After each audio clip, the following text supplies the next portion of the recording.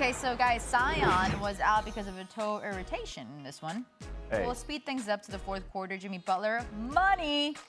Here with a three and one. I ain't even gonna lie to you. I'm irritated with my toes regularly.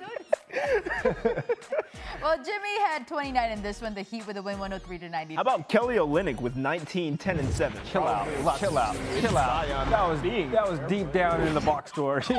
Also in action, Kelly Olynyk, Kings and chill. Made the headline. Fourth quarter, too. Damian Lillard drilling that three, but he was not done because minutes later, he would explode here on this drive. Oh, goodness. Finishes with a layup, Blazers with the lead, and two minutes left.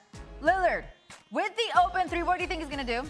Chuck it up, Drill. Come on oh, now. yeah. Trailblazers. with Oh, win. that one rattled a in. season high 44 points.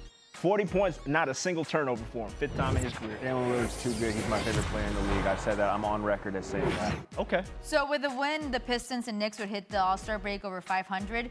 Julius Randle. Mm. and then Julius Randle again. I just, he is getting money for Thibs. He's like Thibs' favorite type of player. Yeah. Just all gas, no Just brakes. do it again.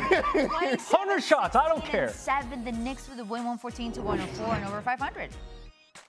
Also, in case you missed it, with the first overall pick of the 2021 All-Star Draft, LeBron James chose Giannis, one MVP partnering up with another to defeat Team KD.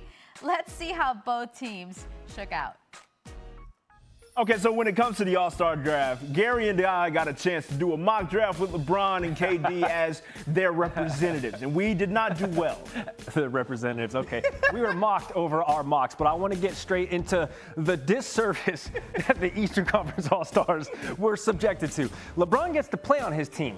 Kevin Durant doesn't, and he's the best scorer in the association. Unfortunate. They should have been able to front load his team with the first two picks. They didn't get it. Anyway, I digress. I don't know why I'm caving so hard for So him. salty. But listen, KD knows he can't play. CPT just means can't play together yet. So he chose Kyrie Irving because he Uh-huh. said, listen, young fella, I need you and James Harden to get a couple more minutes under your belt. They've only played seven total games together as a trio. Get a couple more minutes on your but before I return after the All Star break. Still very much a problem, by the way. I just want to establish that they're going to be still fine. very good. Beyond that, I was looking for the game within the game when we were doing our uh, our mock draft. I wanted Ben Simmons and Devin Booker on the same team. But look, we got the best of the both worlds in that we can get the game within the game Why now did you want them because on the same team, Trevor? because of one Kendall Jenner. Ah, yes, I'm gonna just say it outright, and interesting. we will see how that plays out because they are on opposite ends of the floor. They both got picked seven. But neither of them, yeah, have that one up. Like, no, y'all both got chosen seventh. Yeah. So, like, yeah, you both are two hard sevens. Um,